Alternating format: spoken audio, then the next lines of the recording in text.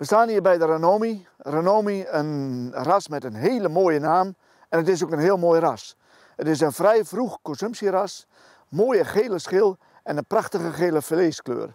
De Renomi geeft onder eh, diverse klimaatomstandigheden goede opbrengsten, hele mooie regelmatige sorteringen en een prachtig eindproduct. De vorm van de Renomi is ovaal. Het ras geeft in heel veel landen hele mooie regelmatige sorteringen.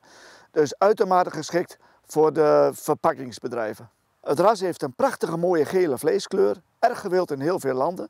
Het onderwatergewicht is ongeveer 320 en de toepassing van het ras, je kunt hem heel veel manieren gebruiken in de keuken. Het ras is bij de pootgoedtelers best wel heel gewild, omdat hij een hele goede virusresistentie heeft en toch ook nog een hele goede opbrengst geeft. De Renomi is uh, heel erg gewild in Duitsland om zijn echt een hele mooie gele vleeskleur. Zuid-Europa gaat het ras ook heel veel naartoe, maar ook Oost-Europa is geïnteresseerd en ook in Zuid-Amerika breekt het ras door in heel veel landen. De Renomi is voor de teelder een goed ras. Het ras heeft een sterke virusresistentie, heeft een goede schurftresistentie en geeft ook nog goede opbrengsten. Zoals wij zeggen bij Agrico, echt een boerenras. De teler wordt blij omdat de Renomi een zeker ras is.